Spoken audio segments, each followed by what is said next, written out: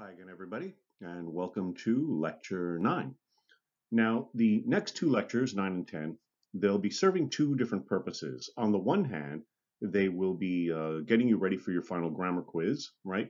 And I should mention now that the final grammar, qu grammar quiz will include both information from Lecture 9 and 10, as well as Lecture 3, I believe it was, so, in other words, anything we talked about with grammar could be included on the final uh, grammar quiz. Now, the second aspect, though, would be to give you a lot of pointers on basically your writing skills, right, for your final take home. So, keep everything like everything we talk about today.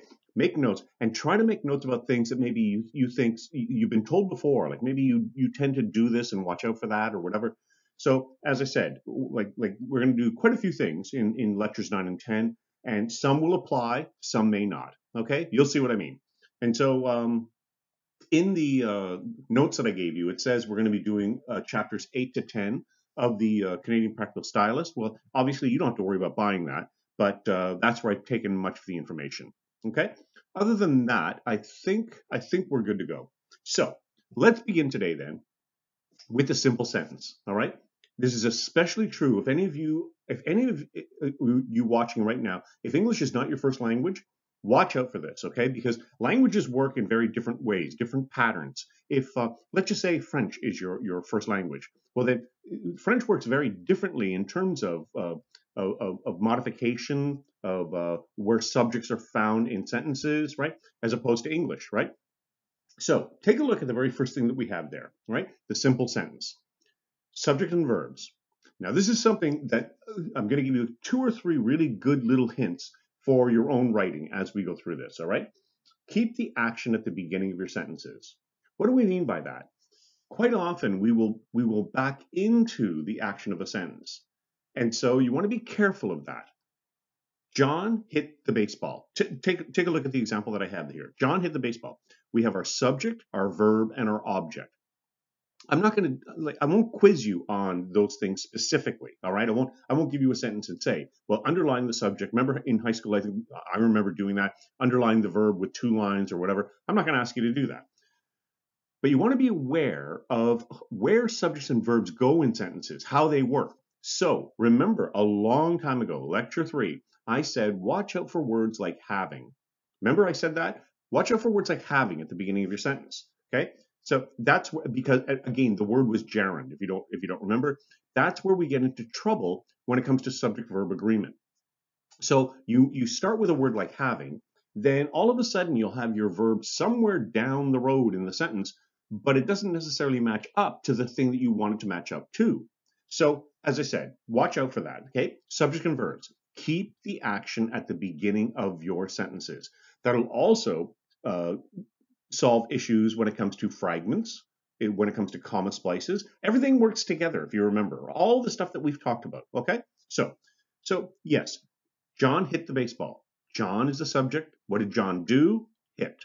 So the action is at the beginning.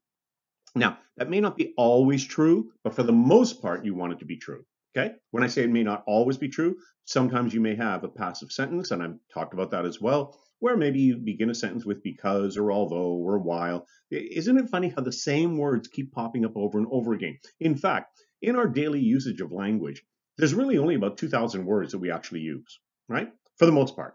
Uh, there's something called the registry, the language registry, but but basically it suggests yeah, there's about 2,000 words, and we all we all know them, we all use them, but it's it's how we use them. That's where effective writing comes into consideration. All right, how how we use those things. So again, we keep going back to what did I say? The very first thing, one of the very first things I said in this course, 10 things, 15 things that we need to fix. And once we fix those, for the most part, yeah, our writing is fine. But it's the same 10 or 15 things over and over again. So here we go. So now we're going to get a bit complicated, all right? In writing, we have what are known as compound and complex sentences. Okay, you, you really should have your notes in front of you while you're watching this. Okay, so we have compound and then we have complex. Now, the compound is very straightforward. And your favorite word to use when it comes to a compound sentence is the word and.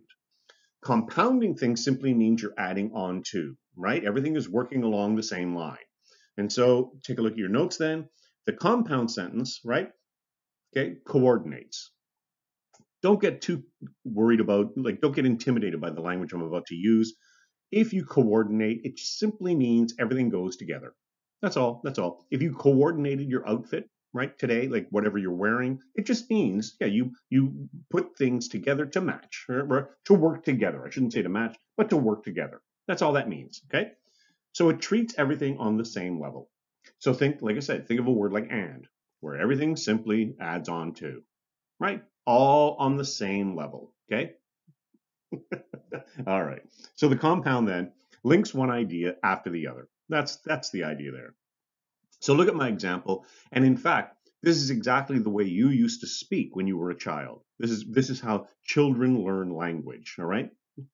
We had ice cream and we had cake and we, you know, played games and whatever, right? That's the way. Uh, if you have younger brothers or sisters, siblings, whatever, nephews, nieces, um, it, it, you'll you'll notice that's the way they talk. If you ask them about their day, right? And so that that's a compound sentence. That's a simplistic. It's a simple sentence. Sim, simple coordinating. Everything works together. Okay. Now, it's the complex sentence. That's where we begin to get into trouble. Okay. So take a look to begin with at, at the language that we have. Then I'll give you some example. I'll give you some phrases to watch out for. The complex sentence hooks lesser clauses. Remember, we started with that long time ago, like words, right? Just words, onto the main sentence or the main idea. Okay. So you'll have words like that, which, who. Okay. But again, I'm going to give you a couple of very specific examples or one of what is what is known as many subordinating connectives. Although, because, where, when, after, if. Don't worry about that, okay? When I show you the example, you'll get exactly what I mean. Now, coordinating, everything works together. Subordinating, all that means is if I am your subordinate, I am underneath you, right? In, in the order of things, I am underneath you or below you or whatever, okay? That's all that means. So in a subordinating clause, right, or in, like in a complex sentence which has subordinating clauses, all that means is it, it's nowhere near as difficult as it sounds. It simply means that things are not necessarily working on all the same level. Okay, I didn't. That was terrible grammar, but you follow what I'm saying, right? Things are working on different levels. So take a look quickly at the um, example that I have. All right, we had a great time, although so the minute you have a word like although, right, all of a sudden we're working on two, the sentence is simply working on two different levels. That's all that means, right? And so it's a subordinating clause. Now, as we get more, so I'll finish the sentence. We had a great time, comma, although some found fault with the decorations. So all I'm suggesting there is there are times where if, if as we get more sophisticated in our writing, we obviously don't want to use the word and over and over and over again, right? Like, like we want to shift, we want to move around, and so we want to get more, as the term suggests, complex, right? I almost came through the computer there, didn't I? Anyway. And so think about that in your writing then. But as I said, there are some phrases. I'm sure it's going to come up. It is going to come up in either lecture nine today or in lecture 10. But watch out for phrases like as well as. Seriously, make a note of that phrase. If you tend to use the phrase as well as, that's a phrase that can get you into quite a bit of trouble when it comes to subject verb agreement. All right. And so I'm, I'm, giving you a hint there. I will come back to that later on. Okay. Like it will be in either this lecture. I can't remember. Um, as a matter of fact, it is in this lecture. So I'm going to get into that in just a second. So watch out for phrases like that. All right. As well as, or words like including. Okay. In addition to those types of phrases can really get us into trouble when it comes to our subject verb agreement. Okay. As you'll see, here we go. Now, before we get into that though, uh, I also wanted to talk just a bit about modifying. Again, modifying works differently in English than it does in many other languages. So let's just quickly, I, am not going to take too long on this, but let's take a look at something called dangling modifiers and misplaced modifiers. All right. These are words or clauses, remember, group of words, where it is unclear which element of the sentence they are modifying. It's unclear, like you, you think you're referring to one thing, but in fact, you're referring to something else. So again, I mentioned that earlier, but now you have the language that I'm going to show you. A dangling modifier, that's a word or a clause that modifies a word not clearly stated in the sentence, okay? Or involves a word or words which are missing in the sentence. That happens quite a bit actually, where we, we are missing a word, and so therefore we think we're modifying one thing when in fact we're not. And so a clear modifier describes, clarifies, or gives more detail about a concept. And it's funny, with the definitions that I give you, sometimes the definitions themselves can be vague, but when I give you the examples, all of a sudden you think, oh, okay, now I get it. So let's just take a quick look, all right? Problematic modifications. Now, again, this is lecture three. It's probably lecture one as well, right? Where I, off the top of my head, I was just doing a few things. Problematic modifications often have an ing word. Okay, sorry, I'm boring the heck out of you now, right? A gerund. Remember having, giving, taking, whatever, whatever, ing words. You don't want to start sentences with ing words unless they're the subject of the sentence. So, how do we fix these things? Okay, well, first of all, name the appropriate or logical order of uh, doer, logical, sorry, name the appropriate or logical doer of the action okay, as the subject of the main clause. Get the subjects at the beginning of your sentences. Don't back into, okay, any kind of phrasing. And that that's a it's it's it's a simple thing to fix, but it's a hard habit to break. Okay? Literally, if you're used to writing that way, it's a hard habit to break. But I'm telling you, there's so many, so many things that can happen when we start phrases with ing words. All right. So watch out for those things. So here we go. Having arrived late for practice, a written excuse was needed. Like highlight that. Put a big star beside it horrible, horrible grammar. You got into trouble because, okay, the minute you use the word having, well, the question becomes, well, what arrived late for practice? Who arrived late for practice? What? So that's what I mean by modification, okay? And going back to what we just said about a dangling modifier, you're missing a word or two, right? And so let's fix it, all right? Having arrived late for practice, the captain of the team needed a written excuse. Okay, so that's a bit better so what, I'm trying to show you there is, yeah, you can do it. You can start with an ing word at the beginning of the sentence if you know how to fix it or if you, know really how to put it all together. But why not just do this instead, right? The captain of the of the team needed a written excuse because okay, they were late for practice. Simple. So what's the difference? Well, in the first example, we have having. Okay, we think that having is the subject, but it's not right? In, in the better revised version, well, we have the captain of the team.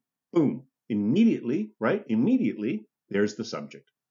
So always think about that in your writing, okay? As I said, this is this lecture is, is not only for your grammar quiz, right? But it's also for your final take home.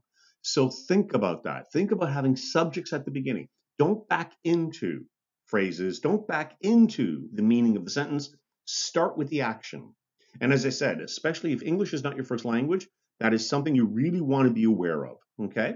All right. And so, and yeah, I don't know how many times I have to say it. The best way to avoid these problems, never begin a sentence with an ing word unless it's the subject of the sentence. Simple as that, right? Right. Okay. I should mention, by the way, I think the lecture today is going to go about 40 minutes, maybe 45. And so here's my perfect example. I, I, I, think I did this one off the top of my head a long, a long time ago, right? We're weeks into the course now. Having trouble sleeping, yeah, remember we talked about that one? The TV helps me get through the night. So again, you see, you think that you've modified correctly, but you haven't. Instead, having trouble sleeping, the TV, well, the minute you write it that way, it's the TV that is having trouble sleeping. And obviously, that's not what you meant. So, as I said, like, like, it's such a simple thing to fix, okay? Get rid of those ing words at the beginning of your sentences. Simple as that. Simple as that. Okay? And so, it's a dangling modifier. It, it appears to modify the subject, but in fact, it's the TV, as I said, that's having trouble sleeping. So, as, instead, uh, like, why not write it this way? When I have trouble sleeping, so notice what we did there, right? Now, when I have trouble sleeping. So the I is at the beginning of the sentence. That's the subject. Simple, simple, simple, simple. Okay? Right. Now, the other aspect of modification, this, this one is a bit more obvious, but it's something you do want to be aware of. It's no, something known as a misplaced modifier, where you have a word in the sentence and you think you're modifying one thing, but in fact you're modifying something else. Okay, so let's slow down just a second. So for a dangling modifier, most often you're actually missing words. There's, you need more words in the sentence to actually make things clear. With a misplaced modifier, it simply means you've got the words in there, but maybe they're in the wrong place. So let's just do this one really quickly, okay? I only had enough money for the show. Only I had enough money for the show. I had enough money for the only show. So all I did there was I, I, I simply put only in different places, okay, and to show you the different meaning. The first one, okay, once I paid for the show, I didn't have any more money. The second one, I was the only one of our group that had money for the show. The third one, okay, there was only one show. I know, I know. It, it, subtle, simple, whatever. But these are the things that we tend to find in first year writing, right? That you just you just put the word in the wrong place, right? And so you you you basically modified the wrong thing. So again, just be aware of that. Okay, just be aware of that. Now I'm gonna I'm gonna show you some funny ones here. All right. I hope you I hope you enjoy this next part. Like just sit back and we'll you know we'll, we'll just chat. Oh oh balloons. Anyway. So I'll just show you. These are actual newspaper headlines that I have found over the years uh, not from not not from mainstream newspapers, but uh, like local newspapers. Uh, for those of you who maybe live in, well, if you know the Ottawa area, there there are newspapers like the Kitchissippi Times and like smaller newspapers, and uh, quite often I, I enjoy wa- reading them because you, you find headlines that uh, their modification is all wrong. Okay, so let's just do some some quick ones. Students find this funny in class. Like you can relax a bit and just look at what I'm doing here. Include your children when baking cookies.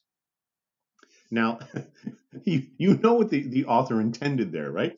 But what's actually being said? If you, if you actually take a look at like word for word with modification, what they're saying is the children should be part of the ingredients. So so that's the kind of stuff. It, it it's it, you know it's not major, right, when it comes to your papers, but it's enough to, to point out, right? Look, you're not you're not doing what you think you're doing. All right, okay. Drunks get nine months in violin case. No? Okay. Anyway, so literally the drunks are going to have to spend nine months in a violin case, but obviously that's not what was going on. Okay. Number three and four are my favorites. Prostitutes appeal to Pope. No? All right. Obviously, what's going on here is that prostitutes made an appeal to the Pope. Okay? But what's actually being said in that in that head, headline is the Pope thinks, hmm, those uh, prostitutes, they they look uh, pretty good, okay? right, that, that's what's being said. And then finally, my favorite, panda mating fails, okay? Veterinarian takes over. I won't explain that one. I hope you're laughing. I hope you're laughing at that one. Okay. Uh, number five, yeah. Clinton wins budget. More lies ahead. So uh, back back in the in the in the uh, God, I don't even remember now. It would have been the 80s, 90s, whatever, when uh, Bill Clinton was president of the United States. Obviously, uh, he, he he made may have made a, a, a few a few questionable statements about sex and a young woman named Monica Lewinsky. Those of you look it up you'll know. But anyway so so you can read more lies ahead. You can read that in two different ways right?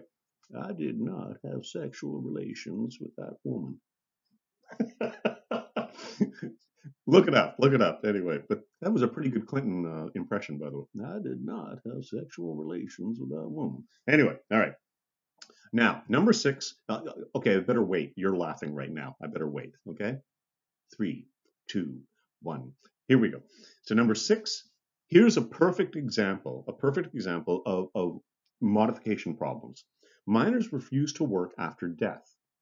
Now, we know, reading between the lines, you can figure out what that means, right? Obviously, there was a death at the mine.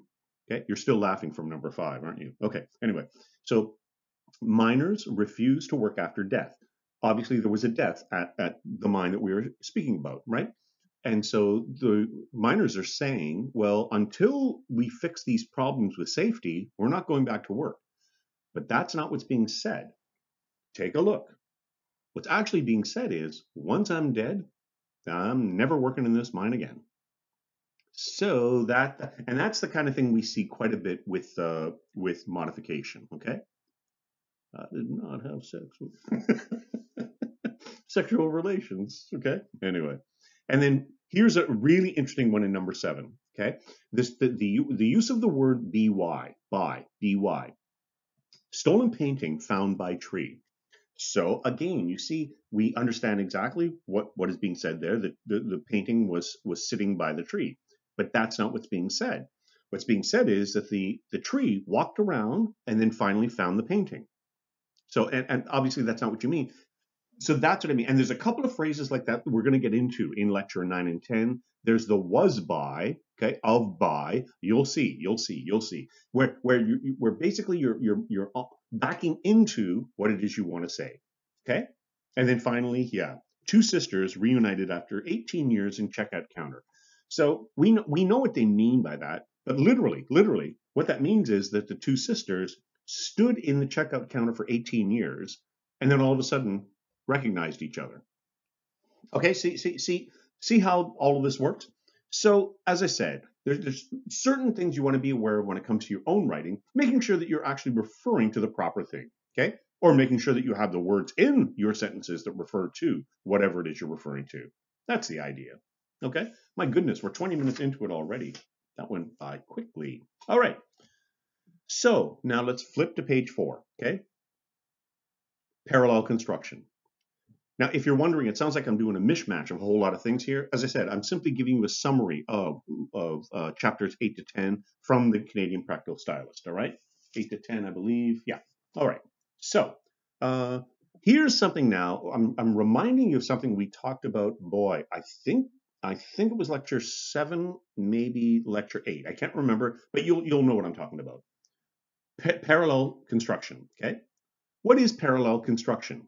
If you remember, I gave an example when we were looking at the introduction, and I said sometimes it's not sometimes, but when you're setting up your sections, it's good to be consistent in how you express them, right? So let's take a look here. The woman was confident, intelligent, and knew how to express herself. Remember the example I was giving you before? It was it was kind of similar to, to the one I'm giving you now, right? The woman was confident, intelligent, and knew how to express herself.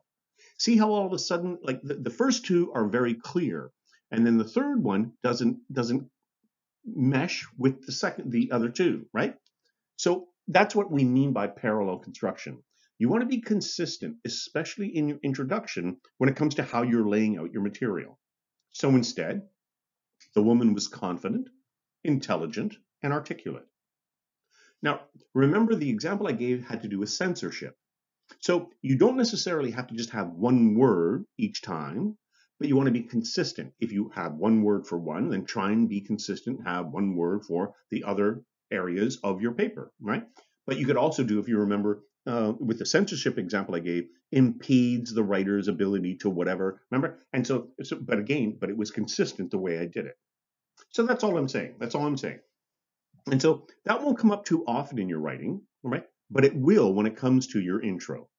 And again, that's one of the things that we've been working on, right? So watch out for that too in your final paper. Okay, good, good, good. Now here we go. Here we go with the was by, all that kind of stuff. This is something I used to do all the time. And so I think I think it's it's a simple thing to fix, but it's a good idea to, to, to be aware of it. Okay? Let's take a look at a sentence. It's a very simple sentence, but then let's look at passive and then active. Okay?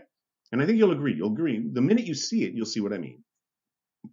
The bill was approved by the board. So that's that construction. I used to do it all the time. Like, well, not all the time, but, but you know what I mean.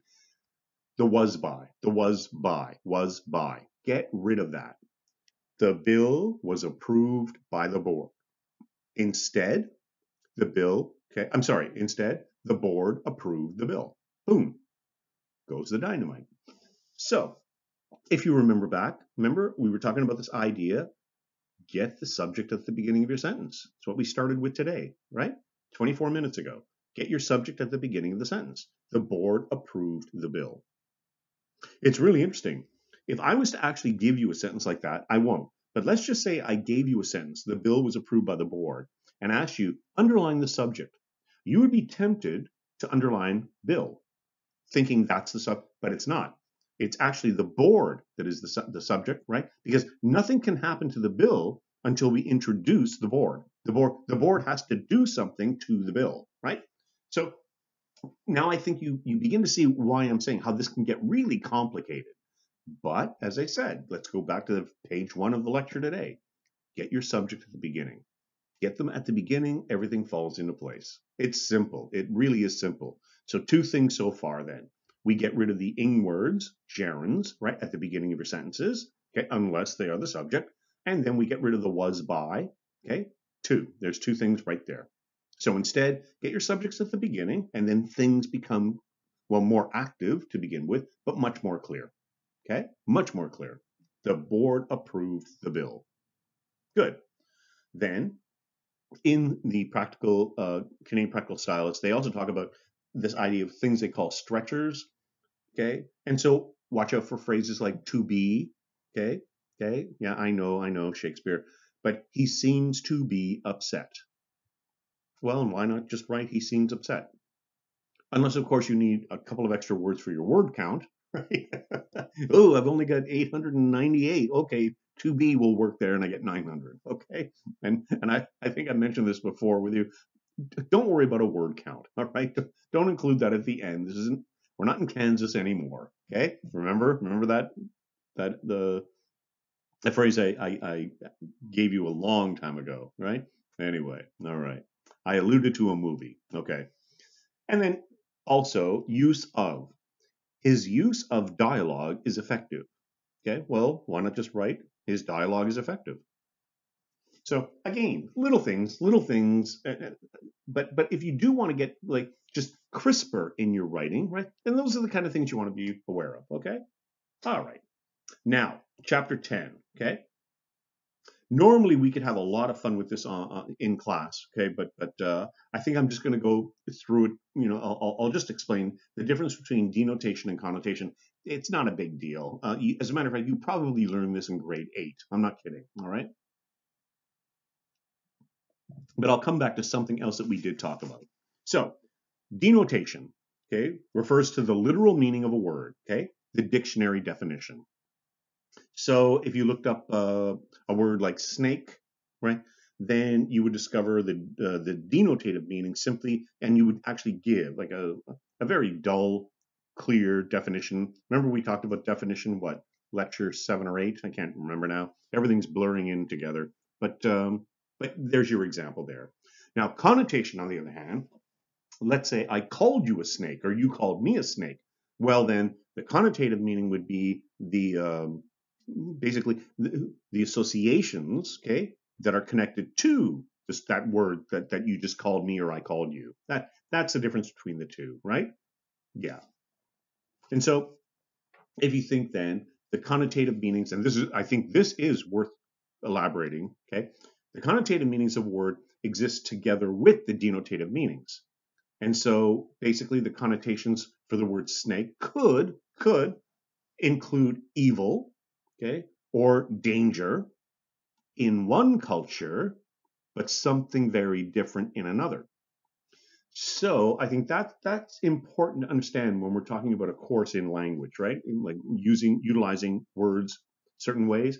You could have certain signs, and there's a whole there's a whole area of study called uh, semiotics, which deals with all of this. Uh, I, I, I, think I've got a quick example there. I usually do it on the board, but in semiotics, where a word in one culture may mean something very may, may mean something very negative in one culture and be very positive in another.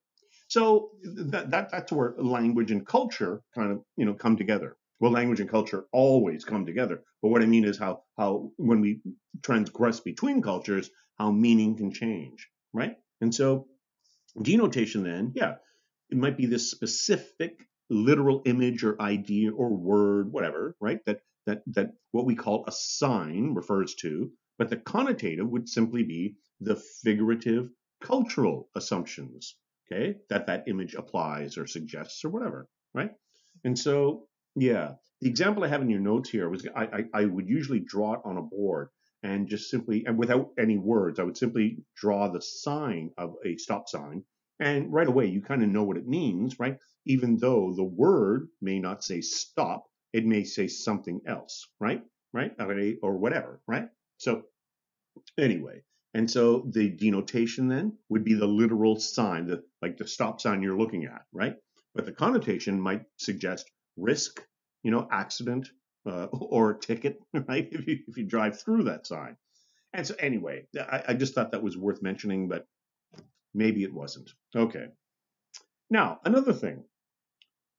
When you're thinking about inclusive or non-sexist language, now it's interesting. I'm not trying to sound neoliberal here. I'm simply saying you never want to be using, again, I see this not too often anymore. We are getting better at this. But I do see individuals who they're trying to be non sexist, right, or inclusive, and they'll write things like S slash HE, okay? Or we fall into that, that terrible trap of he or she, he or she. You don't do that. And there's a really simple way of getting around that. Write in the plural, right? Write in the plural, they.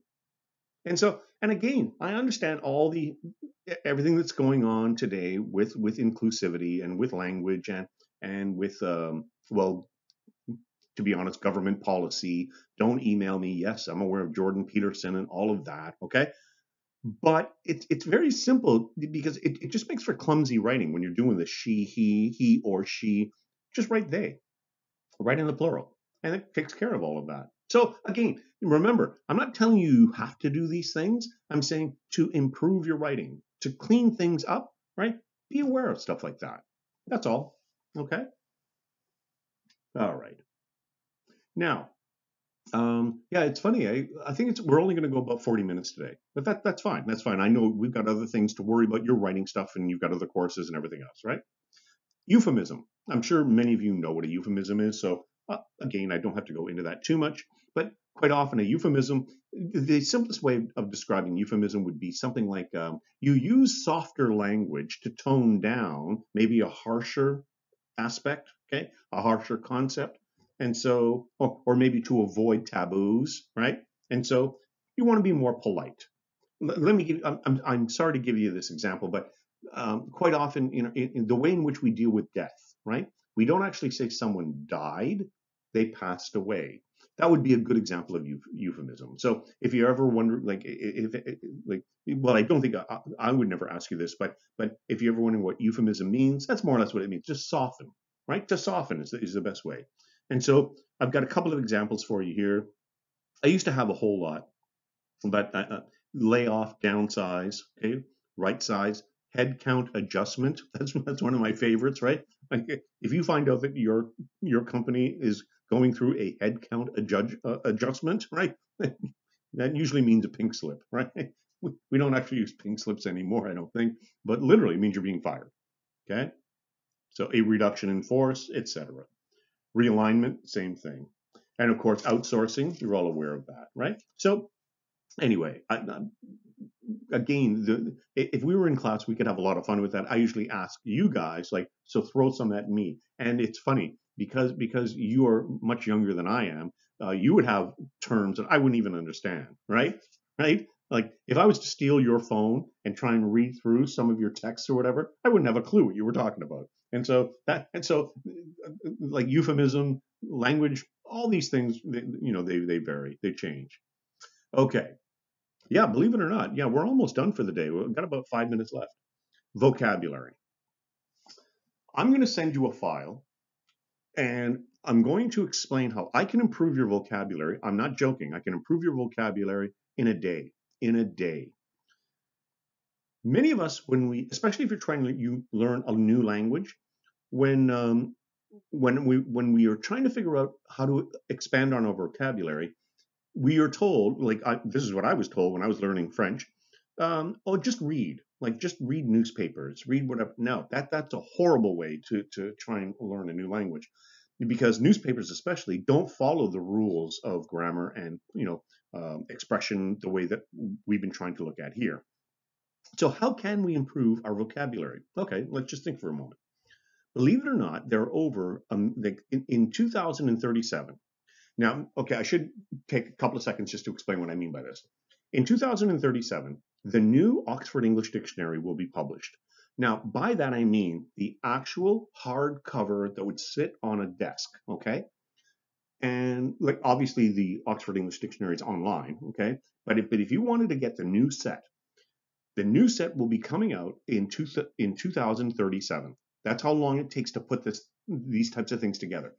And if I was to show you, if you had a full set, the, the full set would probably be the length of this room, right? That's how many volumes. And the volumes themselves are, you know, they're they're about this wide, okay, and they're about that high. And the set would come with a magnifying glass. That's how small the print is. So in that set, there will be over 1 million words. And obviously, by the time 2037 comes around, right, there'll be far more. Now, again, don't email me. If, sorry, I don't mean to keep saying don't email me. What I mean is, I'm aware that if you actually look up how many words are in the English language, you will find a number, and the number will probably say something like 176,000. Okay? So, and literally, like, that is the number that you'll find, but that's incorrect. 176,000, that's how many root words there are in the English language. So let me give you a quick example. Run, okay, R-U-N, run. But then you have running, runner, okay? So, so in other words, you have the root word, run, but then you have all these other words. So if you add up all of those other words, yeah, it's over a million.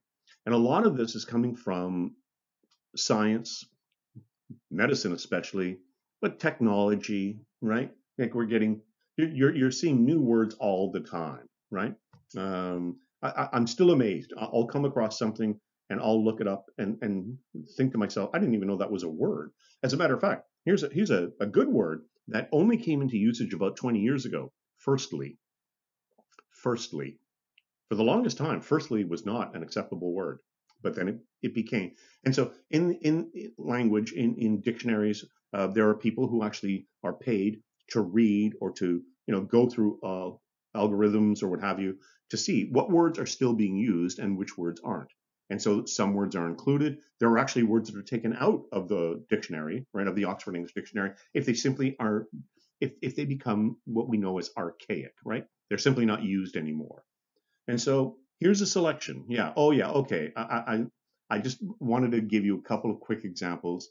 Um, new words that are now included in the Oxford English Dictionary. But as I said, I'm going to come back to that in just a second. Okay. Okay. Actually, actually, let me let me give you an example right now. Last week, I was at the courthouse. Okay, here in in in the city, uh, for reasons which are not important now. And uh, so I'm sitting in court, and I noticed that the uh, the judge was disinterested. Now, is that a good thing or a bad thing? So most people in class, when I when I ask that question, they would say, "Well, that's a bad thing." No, actually, it's a good thing. Disinterested does not mean uninterested. So just knowing that DIS, that's different from UN. Uninterested would mean not interested, right? Un means not. That's that. And so dis means to be apart or to be uh, like if we work it through to be objective. So you want the judge to be disinterested. You want the judge to be objective. So it's interesting. I, I started page six by saying I'm going to improve your vocabulary. Learn your prefixes and your suffixes, but prefixes especially. Those little phrases that come before, right, the actual root word. Okay? So, interest, dis, or un, knowing the difference between the two. Interest is the root word, dis or un would be the prefix. So, and I've sent you, I've sent you a, a really, really good example. There's I found a file which lists all you know quite a few that over I think there's over a hundred. Um, and I, I could literally you know, do with you well I just did. But um, but become aware of those things. And you know uni uni uni right unicycle but unilateral Okay, so unicycle, well, because we don't really think of the, the prefix, we all know what unicycle means, one, right? One, one wheel. But unilaterally, that would mean, say, a country got involved unilaterally in something. It means they went on their own. So a little thing like that, intra as opposed to inter. Okay, again, I sent you the file, you've got it, but not a bad idea. That's how you can really increase your vocabulary very quickly, very quickly, right? So anyway, um, so yeah, I included a couple from 2015, like new words in the language, many of which uh, I, I was, some of which I was surprised at. Um, bants, right? Uh, playfully teasing or mocking remarks exchanged in another person or group, like coming from banter, right? But brain fart, I was under the impression that word had been around, or that phrase had been around for a long time. But in fact, it only came into the Oxford English Dictionary in 2015. And then you got a couple of others there. Butt dial, obviously because of you know smartphones and, and what have you, right? And man spreading. I'm sure you're all aware of that phrase, right? Man spreading. I've given you the dictionary there. But one I would ask you to think about, all right? I'm not forcing anything on you. Again, like uh, a whole idea of language, but MX as a noun. So rather than miss or misses, instead using the phrase MX. So a title used before a person's surname, okay, by those who wish to avoid specifying their gender or by those who prefer not to identify themselves as male or female. And it's usually pronounced mix or mux, all right? But anyway, I just thought that would be a, a good one to add. Uh, and again, I'm nowhere near as liberal as it sounds when I'm talking about this stuff, but that's just common courtesy in my mind, all right? As a matter of fact, I looked up all this stuff on the um, LGBT2 uh, um, website. I'm, I'm trying to remember now which one exactly. Sorry, LGBTQ2, and um, and they said the same thing. They're they're nowhere near as militant as, as you would think. They simply say, well, you know, refer to someone as they would like to be referred to. Simple as that. Right? Anyway, all right. I think that I got that acronym a bit mixed up. Sorry about that. Um, you know, I sometimes get I get confused. I'm an old man. All right. anyway. And so, as I said, um, yeah, I figured 42, 43 minutes today. Um, think about these things then when it comes to your final essay, but in all of your writing, little things, all right? Little things, especially the was by, um, the to be, you know, the stretchers and all of that. Watch out for style things like that, okay? So, um, as I said, because we're getting near the end of the course, I, th- I think that's going to be good enough for the day. I figured 42, 43 minutes. And then what I'm going to do is I think I'm going to take a tiny break and then I'm going to actually do lecture 10. So I'll be wearing the same shirt and looking the same way. All right. Anyway, okay, that's good enough for the day. Thanks. Bye.